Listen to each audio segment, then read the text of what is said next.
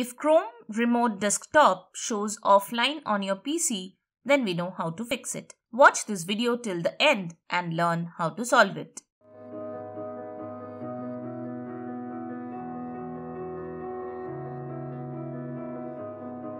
Hey, you're watching Silicophilic, the home of all tech solutions.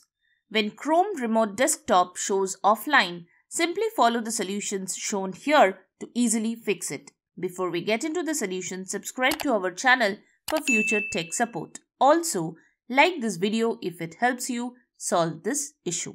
Don't forget to comment your feedback on the solutions or if you're facing any issue while performing them. We also have a Facebook group of troubleshooting experts where you can share your tech issues and get direct help.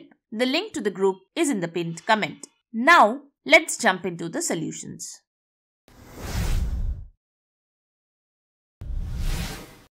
Google has launched a Chrome Remote Desktop website that works through an extension. When you find Chrome Remote Desktop shows offline, use the web application. Visit Chrome Remote Desktop website and hit the download button as shown. The link is given in the description of this video. Next, click on Add to Chrome. Confirm it and then run it after the extension has installed.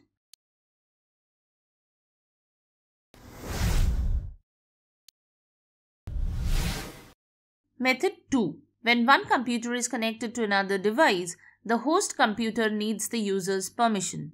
If you do not grant enough permission, then your Chrome Remote Desktop will be unable to reach the host computer. While you connect to another computer, you will receive a pop-up window requesting permission. So allow the permission and then proceed.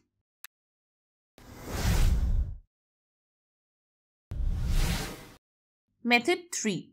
Windows Defender Firewall or your third-party antivirus software may prevent you from using Chrome Desktop and you will find Chrome Remote Desktop keeps going offline.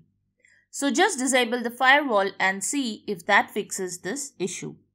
Go to the Start menu and type Windows Defender Firewall.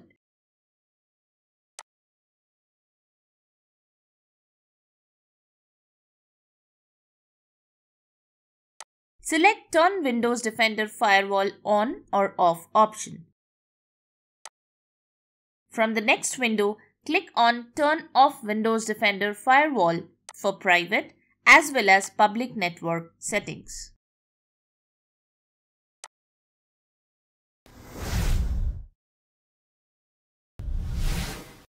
Method 4. If the earlier solutions didn't work, try reinstalling Chrome. Right-click on the Start button and select Settings.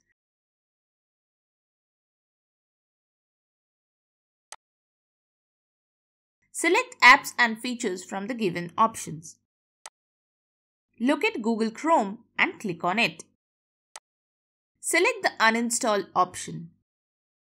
After the uninstallation process completes, visit the official Chrome website and download Google Chrome. The link to the official Chrome website is also given in the description. So that's it. If this video has helped you in figuring this issue, then give us a like and subscribe to our channel. If the issue isn't resolved from the solutions we have shown here, comment below to let us know and our team will try their best to help you out. Also, join our Facebook group for direct tech support. The link to the group is in the pinned comment. Thanks for watching Silicophilic.